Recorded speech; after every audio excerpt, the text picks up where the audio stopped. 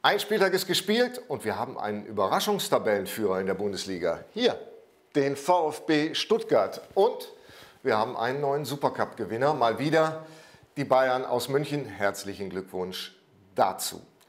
Herzlich willkommen bei Beidfüßig bei der Wettbasis.com. Es hat sich viel getan, es ist viel Bewegung drin in der Bundesliga und das alles wollen wir heute besprechen. Unter anderem auch, ist der Kader von Bayern München stark genug für die ganze Saison, für die Dreifachbelastung, Pokal, Champions League, Meisterschaft.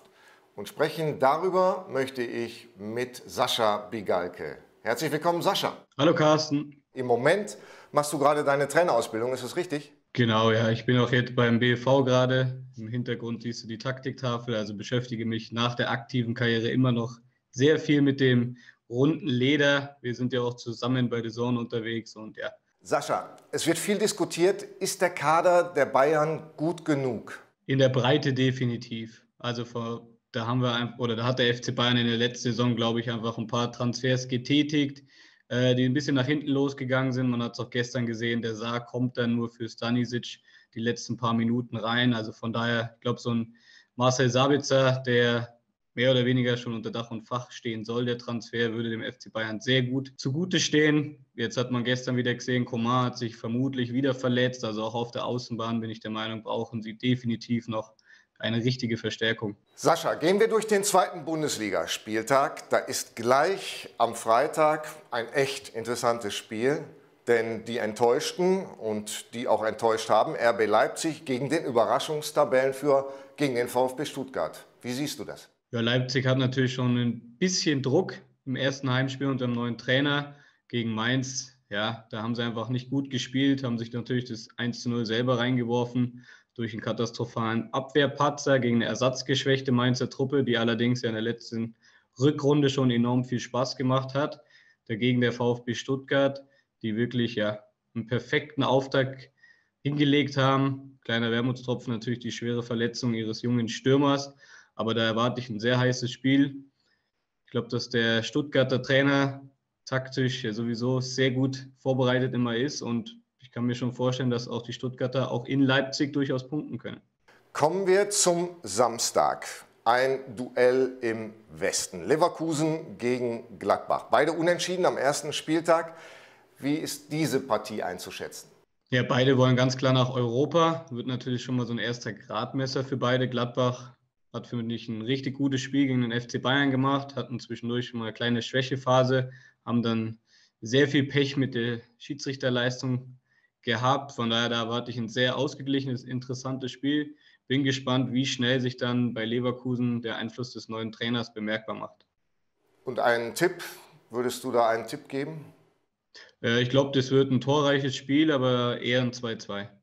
Vielen Dank erstmal, Sascha. Wir holen dich gleich wieder zurück in die Show, wenn es äh, um das Spiel Bayern München gegen Köln geht. Jetzt machen wir weiter mit Marcel. Hallo Marcel. Übrigens, herzlichen Glückwunsch unserem Experten bei der Wettbasis.com, denn von den letzten neun Bundesligaspielen hat er sieben richtig getippt. Danke, Carsten. So, dann machen wir auch gleich weiter mit dir, mit dem Spiel am Freitag. Leipzig gegen Stuttgart. Finde ich extrem spannend.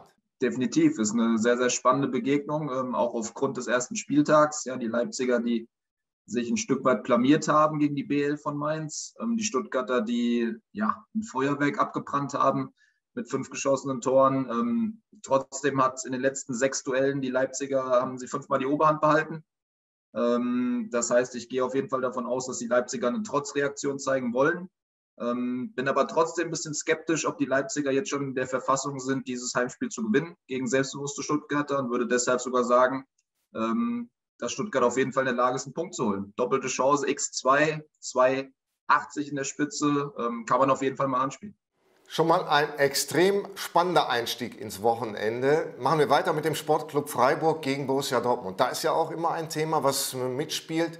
Erling Haaland, trifft er, wie oft trifft er? Kann der die Torjägerkrone gewinnen. Im Supercup hat ja Levi schon mal wieder getroffen.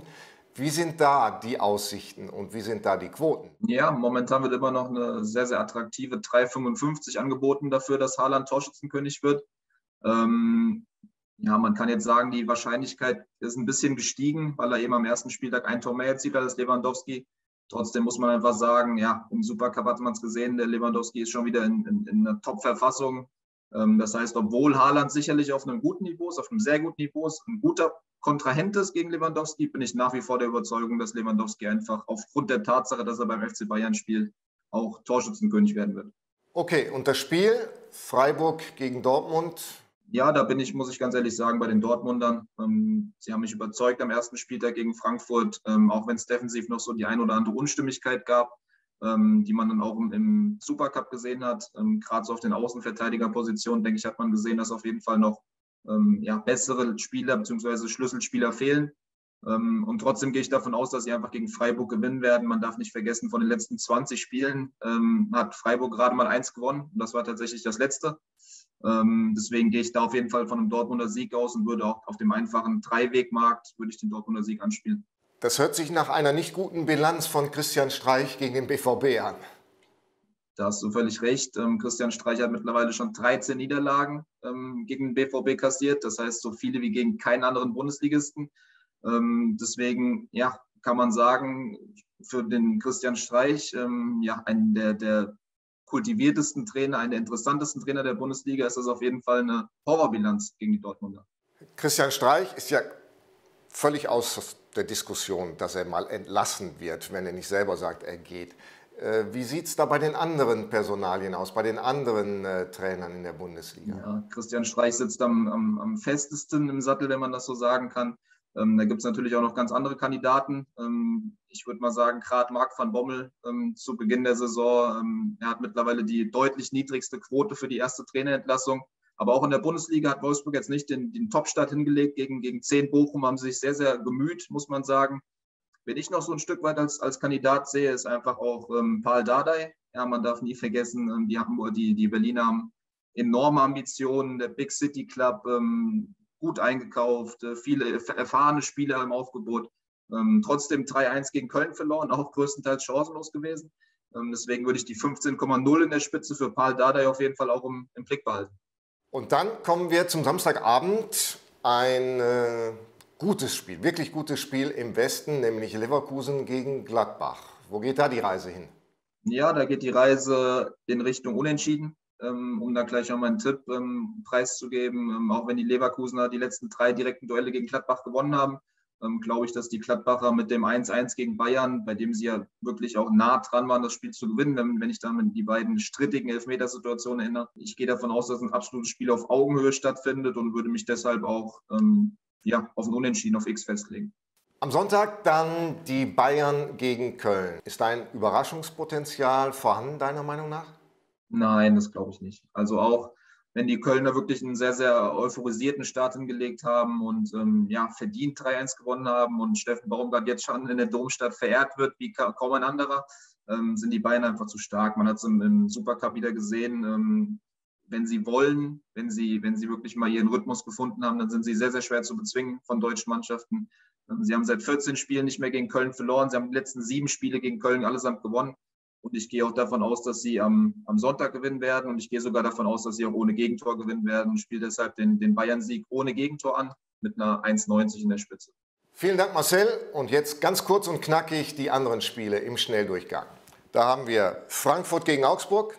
Ich sage, beide Mannschaften haben Probleme in der Defensive, beide Mannschaften treffen 1,66. Hertha Wolfsburg. Hertha Wolfsburg bin ich mir nicht ganz sicher. Ich glaube aber, dass die Herthaner eine Reaktion zeigen gegen äh, verunsicherte Wolfsburger und sage Toronto Bet 1. Bochum Mainz.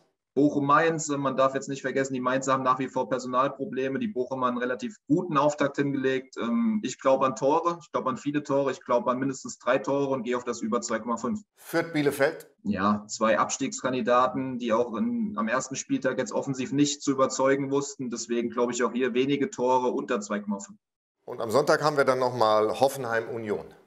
Da gehe ich ein Stück weit auf eine Überraschung, auch wenn die Hoffenheimer einen guten Auftakt hingelegt haben, allgemein seit acht Bundesligaspielen ungeschlagen sind, glaube ich, dass Union Berlin hier einen überraschenden Auswärtssieg landet.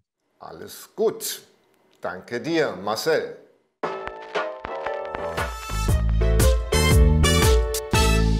Sascha, zurück zu dir. Du bist in Berlin geboren, lebst aber schon seit langer Zeit in Bayern und hast auch mal für den FC gespielt. Deine Meinung jetzt. Holt der neue Mann mit der Mütze, holt Steffen Baumgart etwas Zählbares in der Allianz Arena? Ich glaube, dass der Steffen ganz genau weiß, wie er seine Jungs zu motivieren hat, wenn sie überhaupt Motivation brauchen gegen den Serienmeister. Aber auch die haben jetzt wieder die, den Dienstag in den Knochen, äh, sehr intensive 90 Minuten. Also ich glaube nicht, dass es ein Schützenfest wird aus Bayern Sicht, sondern dass da durchaus ein sehr, sehr enges Spiel zu sehen sein wird. Zu Beginn der Saison wird ja auch immer darüber verhandelt, äh, welcher Trainer nicht so richtig passt zum äh, Verein. Siehst du da schon irgendwelche Tendenzen, dass man da äh, einen Trainer austauschen wird? Also ich bin sehr gespannt, ob es mit Dada und Hertha jetzt nochmal passt. Ich glaube, dass das letztes Jahr der richtige war, um hinten raus die Klasse zu halten. Dieses Jahr bin ich gespannt, wenn sie doch ein bisschen ja, offensiver und ein bisschen ähm, ja, sage ich mal, eher Richtung Europa vielleicht sogar schielen wollen, jetzt auch mit Bobic. Da bin ich sehr gespannt, ob das dann zusammenpasst. Ähm, und ansonsten bin ich sehr gespannt, was der Trainer aus Bern in Leverkusen dann letztendlich ähm, auf, den, auf den Rasen da bringt. Da bin ich wirklich sehr gespannt. Ähm, ich glaube, dass der Marco Rose zu Dortmund super passt, dass das richtig gut klappen kann, genauso wie Adi Hütter, glaube ich, zu Gladbach gut passt. Was natürlich interessant sein wird, Oliver Glasner in, in Frankfurt. Ähm, ohne Bobic, ohne die sportliche Führung. Also da bin ich auch sehr gespannt, was er am Ende der Saison dann reißen kann. Sascha, wunderbar. Das war auf den Punkt gebracht, detailliert, gute Analysen zur Bundesliga und zum zweiten Spieltag. Immer gerne mal wieder und äh, viel Spaß weiter mit den Jungs bei der Trainerausbildung. Danke dir, ciao. Wir sind am Ende von beidfüßig Bundesliga, aber wie ihr wisst, auf einem Bein kann man ja nicht stehen. Deshalb haben wir auch noch eine zweite Show, nämlich die zweite Bundesliga. Die sind ja bereits am vierten Spieltag. Das Ganze auch mit dem Experten Marcel Niesner. Und alle anderen Infos zu wichtigen Sportereignissen findet ihr wie immer auf unserer Internetseite wettbasis.com. Also bis nächste Woche. Viel Spaß und viel Erfolg an diesem Wochenende. Tschüss.